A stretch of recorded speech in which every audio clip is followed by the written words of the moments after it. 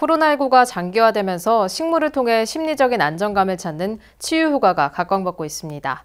경기도 농업기술원은 온라인을 통해 치유 농업을 체험할 수 있는 비대면 프로그램을 진행 중인데요. 최창순 기자가 현장 취재했습니다.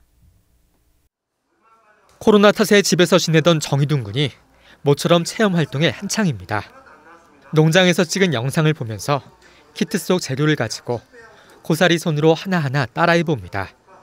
농부 선생님 설명에 맞춰 화분에 흙을 넣고 다육식물을 심어 넣으면 완성. 뾰족이라는 이름까지 지어 반려식물 화분을 만들었습니다.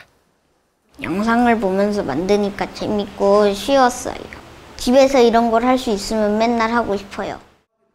이 체험 영상을 제작한 농장에서는 매출 향상 효과를 톡톡히 보고 있습니다. 코로나로 뚝 떨어진 매출 탓에 어려움을 겪다가 비대면 체험 프로그램을 시작하면서 회복됐습니다.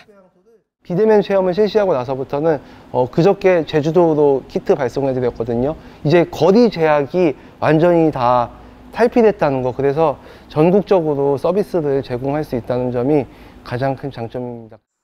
경기도 농업기술원은 농촌 체험 상품을 만들면서 힐링할 수 있는 DIY 온라인 치유농업 체험 프로그램을 운영하고 있습니다.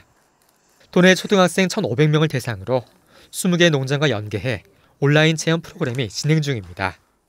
코로나 시대에 우울감이나 이런 게 좀 해소될 수 있도록 집에서 프로그램 할 수 있는 장점이 있으며 또 농가는 어, 어려운 여건에서도 새로운 틈새 시장을 공략해서 소득을 증대할 수 있는 장점이 있습니다.